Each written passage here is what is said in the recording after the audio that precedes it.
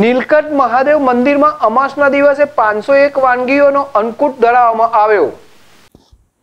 ખેડા જિલ્લાના ગળતેશ્વર તાલુકાના રુસ્તમપુરા ગામે મહીસાગર નદીના કિનારે અતિ પૌરાણિક નીલકંઠ મહાદેવ બિરાજમાન છે. જ્યાં આજરોજ અમાસના દિવસે ભગવાનને અન્નકૂટ ધરાવવામાં આવ્યો હતો.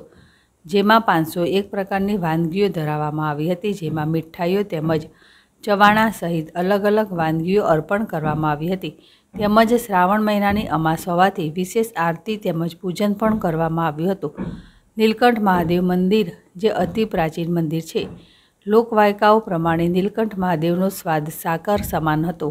આ નૂતન મંદિરનું નિર્માણ કરવામાં આવનાર છે, જેમાં નીલકંઠ મહાદેવ ટ્રસ્ટ તેમજ અન્ય દાતાઓના દાનથી તેમજ લોકફારો લઈને આ મંદિરનું નૂતન નિર્માણ કરવામાં આવનાર છે. હાલમાં મંદિરની સેવા પૂજા કરતા અયોધ્યાદાસજી મહારાજ દ્વારા મંદિરની સેવા, પૂજા તેમજ મંદિરમાં આવનાર તમામ ભક્તોને સારો આવકાર આપવામાં આવે છે.